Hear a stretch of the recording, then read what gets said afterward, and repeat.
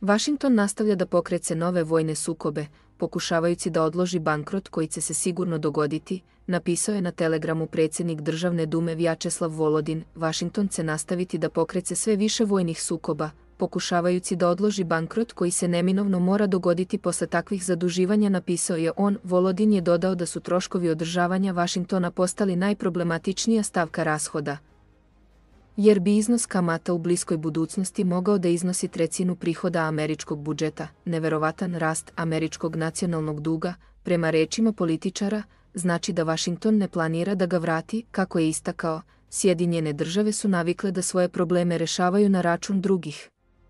Stoga su, da bi zadržali hegemoniju, započeli rat u Ukrajini, žrtvujući ekonomiju Evropske unije.